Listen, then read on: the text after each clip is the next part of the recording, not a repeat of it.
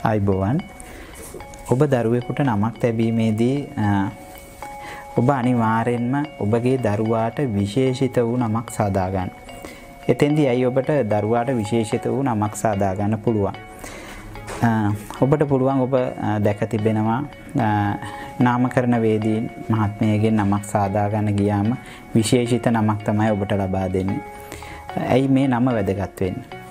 විශේෂිත නමක් සාදා දුන්නට පස්සේ වෙන කිසිම මේ පෘථිවි තලය තුල නැත්නම් මේ විශ්වය තුල කිසිම අවස්ථාවක එම නම තම අවස්ථාවක තව කෙනෙක් සමග නොකිය වෙන්න පුළුවන්. ඒ නිසා ඒ නාමය ලබා ගන්නවා වගේම තවත් අපි ඔතෙන්දී ගන්න පුළුවන් උදාහරණයක් විදියට යම් මූලන මුල් නාමය සහ දෙවැනි නාමය අතර අපට දෙකම ඒ විදිහට ගන්න බැරි වෙන්න පුළුවන්. නමුත් එක නාමයක් හෝ ඒ ආකාරයට ගන්න පුළුවන් නම් බොහොම හොඳයි. සමහර අවස්ථාවන් වල සමහර පුද්ගලයන්ට අක්ෂරයන් අනුව එම නාමයන් ලබා ගැනීමේ හැකියාවක් නැහැ. නමුත් අපට උපරිමයෙන් උදාහරණයක් විදිහට මංගාවට පැමිණෙන බොහෝ අයගේ මංගාව නම් ලක්ෂයක් තිබෙනවා නම් මම උපරිම උත්සාහ කරනවා ඊට විශේෂ නාමයක් සාදලා දෙන්න බෑ යම් අවස්ථාවක බැරි වුණොත් දෙවනි නාමය විදියට මම මංගාව තියෙන නාමයන් වලින් එකක් ලබා දෙනවා. ඉතින් ඒ වගේ විවිධ නාමකරණ වේදින් ගා විවිධ ක්‍රමවේද පවතිනවා. ඉතින් එතෙන්දී නිතරම ඔබ උත්සාහ කරන වෙනත් නාමයක් හදාගන්න යම් අවස්ථාවක බැරි නම් ඔවුන් කියන ඔවුන් කියන්නේ මොනවද ඔවුන් කියන දෙයට හුම්කන් දෙන්න මොකොද සමහරලාට අපේ අම්මල තාත්තල අපි දැකලා තියෙනවා මේ මට දරුවට විශේෂිත නමක් අවශ්‍යයි එහෙම කියන එක.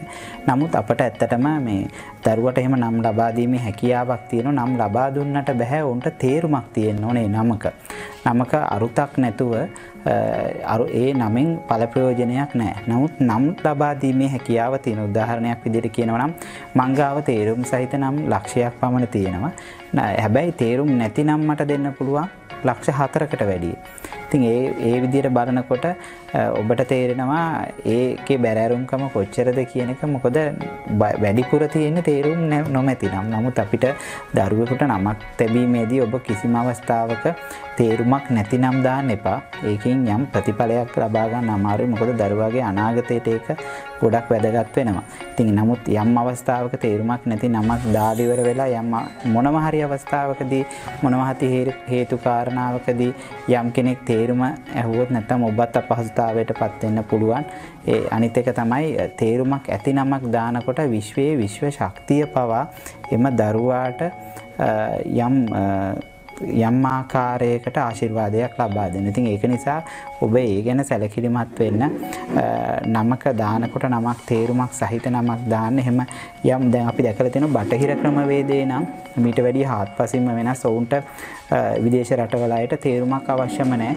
ඔවුන් ඔවුන් අපෙන් ඉල්ලන්නේ අපිට නාමයක් ලබා දෙන්න. ඔවුන් ඒ නමේ අරුත ගැන බලන්නේ ඔවුන් නමේ ලස්සන පමණයි බලන්නේ. ඉතින් ඒක නිසා ඒක ගැටලුවක් වෙන්නේ නැහැ. නමුත් නිවැරදි ක්‍රමවේදය තියෙන්නේ හරි විදියට නම් මේ අරුතත් එක්ක නමක් දාන එක තමයි. ඉතින් ඒ නිසා මෙවැනි තව වැඩසටහන් කීපයක්ම ඔබට බලන්න පුළුවන්.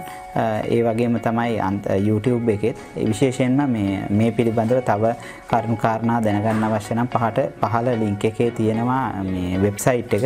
ඒ වෙබ්සයිට් එකට ගිහිල්ලා බලන්න ඔබට ඒ පිළිබඳව දැනගන්න පුළුවන්. තවත් මෙවැනි වැඩසටහනක් ගේන බලාපොරොත්තු වෙනවා ඉදිරි කාලයේදී ඔබ සැමට සම්මා සම්බුදු සරණයි.